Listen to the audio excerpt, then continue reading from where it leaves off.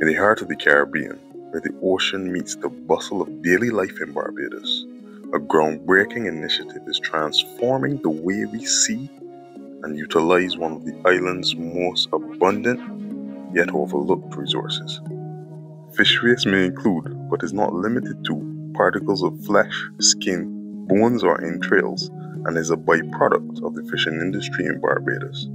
For a number of years, fish waste is dumped in the permitted landfills.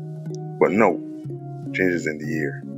The flexible multi-partner mechanism through the Barbados Fish Silage Initiative is pioneering this project that is spearheaded by the Food and Agriculture Organization of the United Nations in collaboration with local and regional partners.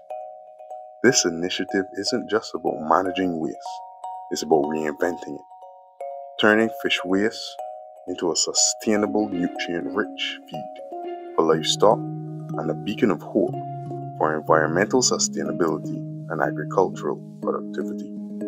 Join us as we delve into this remarkable journey where innovation meets tradition and where the future of agriculture and environmental stewardship in Barbados is being rewritten.